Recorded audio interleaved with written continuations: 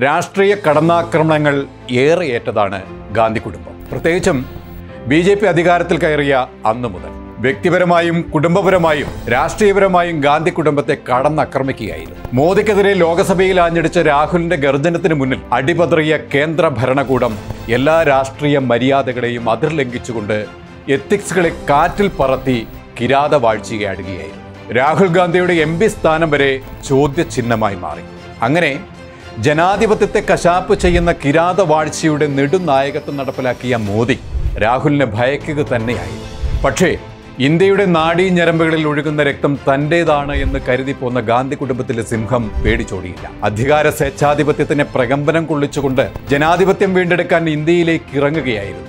ഇന്ത്യയുടെ ആത്മാവായി എല്ലാ ആരോപണങ്ങളെയും കാറ്റിൽ പറത്തി പതിനേഴാം ലോകസഭയിൽ വയനാട്ടിൽ നിന്നും റെക്കോർഡ് ഭൂരിപക്ഷത്തോടെ കുതിച്ച് വിജയം വരിച്ചപ്പോൾ തൊടുത്തുവിട്ട അമ്പുകളെല്ലാം മാവനാഴിയിലേക്ക് മടക്കി എതിരാളികൾ നിശബ്ദരായി സ്തബ്ധരായി. മൃഗീയ ഭൂരിപക്ഷം നൽകിയ വയനാടിനെ തള്ളിയോ രാഹുൽ ഗാന്ധി? അതേ തിരഞ്ഞെടുപ്പിൽ റായ്ബറേലിയിൽ മത്സരിച്ച് ജയിച്ച രാഹുൽ വയനാട് എം സ്ഥാനം രാജിവെച്ചു. അതൊരു രാഷ്ട്രീയ തീരുമാനമായിരുന്നു. വയനാടിന്റെ സ്പന്ദനം തൊട്ടറിഞ്ഞ രാഷ്ട്രീയ ചാണക്കിന്റെ തീരുമാനം. മോദി എന്ന വടവൃക്ഷത്തിന്റെ കടക്കൽ തന്നെ ആഞ്ഞു പ്രഹരിക്കണമെന്ന രാഷ്ട്രീയ ബുദ്ധി. പക്ഷേ ഇടതുപക്ഷവും ബി ജെ പിയും ആ തീരുമാനത്തെ ആയുധമാക്കുകയാണ് ഉണ്ടായത്.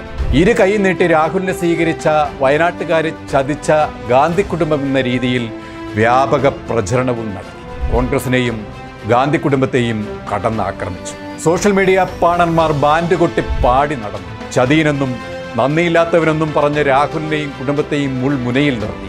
ബി ജെ പിയും എൽ ഡി എഫും ഇവരുടെ റാൻമൂളുകളായ ഈർക്കിൽ പാർട്ടികളും വിലാപങ്ങൾ കൊണ്ട് അരങ്ങ് തകർത്താടി. അപ്പോഴാണ് രാഹുൽ മാറിയ വയനാട്ടിൽ അനിവാര്യമായ ഉപതെരഞ്ഞെടുപ്പ് പ്രഖ്യാപിച്ചത്.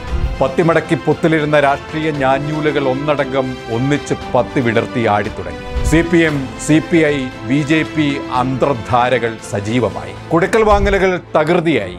പക്ഷേ തരിമ്പും പതറാതെ കോൺഗ്രസ് നേതൃത്വവും ഗാന്ധി കുടുംബവും യുക്തമായ തീരുമാനങ്ങൾ പ്രഖ്യാപിച്ചു.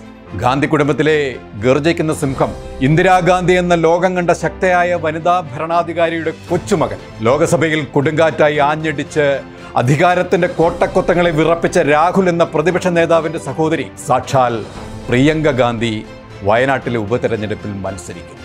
തന്നെ വൻ ഭൂരിപക്ഷത്തോടെ വിജയിപ്പിച്ച വയനാട്ടിലെ ജനതയോട് നന്ദിയും കടപ്പാടും സ്വന്തം സഹോദരിയെ ആദ്യമായി രാഷ്ട്രീയ തെരഞ്ഞെടുപ്പിൽ ഏറ്റുമുട്ടുന്നത് വയനാട്ടിൽ നിന്നാവണം എന്ന് തീരുമാനിച്ചു. ചില തന്ത്രപരമായ കാരണങ്ങളാൽ വയനാട്ടിൽ നിന്ന് മാറേണ്ടി വന്നെങ്കിലും ഏറെ കരുതലോടെ ഞാൻ ഈ നാടിനെ ഈ നാട്ടുകാരെയും കാണുന്നത് എന്ന് രാഹുൽ പറയാതെ പറയുകയായിരുന്നു. വൈകാരികമായ ഒരു ചുവടുവെപ്പായിരുന്നു ഗാന്ധി കുടുംബത്തിന്റെത്. രാഹുലിനെ ചേർത്ത് പിടിച്ച വയനാടൻ ജനത പ്രിയങ്കയെയും ചേർത്ത് നിർത്തി. ബി ജെ പിയും എൽ ഡി എഫും വൻ നിരയെ രംഗത്തിറക്കുമെന്ന് വാർത്തകൾ വന്നെങ്കിലും ഗാന്ധി കുടുംബത്തിന്റെ പ്രഭാവലയത്തെ ഭേദിക്കാൻ ഏത് അധികായനെ ഇറക്കിയാലും തീർത്തും പരിതാപകരമായ പരാജയമായിരിക്കും ഫലം എന്നറിയുന്നത് കൊണ്ട് തന്നെ അങ്കലാപ്പോടെയാണ് അവർ ഇലക്ഷനെ സമീപിച്ചത്. നാല് ലക്ഷത്തി പതിനായിരത്തി തൊള്ളായിരത്തി മുപ്പത്തി ഒന്ന് വോട്ടുകളുടെ ഭൂരിപക്ഷമാണ് പ്രിയങ്ക ഗാന്ധി ഈ തിരഞ്ഞെടുപ്പിൽ നേടിയത്. കന്യംഗത്തിൽ വയനാട് കാണിച്ച സ്നേഹത്തിന് ആത്മാവ് കൊടുത്ത് പ്രിയങ്ക വയനാടിനെ ചേർത്ത് പിടിക്കും എന്നതിൽ ഒരു സംശയവും വേണ്ട. ആയിരത്തി തൊള്ളായിരത്തി നാൽപ്പത്തി ഏഴ് മുതൽ ഇന്ത്യയുടെ ആത്മാവായ ഗാന്ധി കുടുംബത്തിലെ ഇളമുറക്കാരി വയനാടിന്റെ ശബ്ദമാവട്ടെ ഇനി. കൂടുതൽ വാർത്തകൾ ലഭ്യമാകാൻ ഞങ്ങളുടെ channel like share and subscribe ചെയ്യുക. സബ്സ്ക്രൈബ് ബട്ടണിലെ ബെല്ലൈക്കൺ എനബിൾ ചെയ്യാനും മറക്കരുത്.